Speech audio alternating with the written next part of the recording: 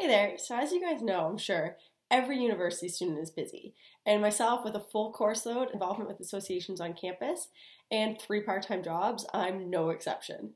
And I've always hated grocery shopping because I find my downtime is reserved for spending time with friends, relaxing, things like that. And making the trip to the grocery store just doesn't fit in. I absolutely hate shopping for groceries it's not as much going around the store and picking out all the items that I don't like. It's the planning out what you're going to buy. It's the tr- getting the transportation there, transportation back. It's the whole process that just takes up too much of my time and I don't like doing it. And then I found online grocery shopping. So now when I'm running low on time, I can just pick out all the items I want online, choose a delivery time, and then they get delivered right to my door. Uh, it saves me time and stress, and it only costs around 12 extra dollars, which is something I totally see as being worthwhile. As I mentioned, I have multiple motivations to turn to online grocery shopping, lack of time being the biggest factor. Drive theory is also very present in this consumption habit, as you know, I need food to stay healthy and to survive. Um, my motivational strength towards grocery shopping is low, as I'm not willing to spend a lot of time and energy going to the grocery store and making sure I have a fully stocked fridge. When grocery shopping, inertia definitely comes into effect.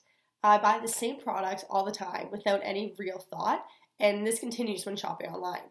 Shopping online does, however, affect my level of involvement since I obviously can't pick up and look at the items that I'm buying, uh, as well as some sales promotions aren't translated onto the online store. Uh, sensory inputs are also hindered when shopping online because, as I mentioned, I can't notice the color, the shape, or the size of, uh, for example, my produce before I select it for purchase, uh, which I would normally do. And I have to put full trust in the person on the other end of the system that they'll pick out items that I would see fit. Uh, I first noticed advertisements of, uh, for grocery shopping online when I was low on both time and groceries.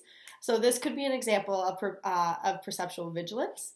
I needed a faster and easier way to get my groceries, and because of this, my perceptual selectivity may have been affected. So, all in all, I'm really happy with my online grocery shopping experience, and it's something that I definitely recommend to other university students or really anyone that finds they don't have the time to actually go to the store and do their grocery shopping.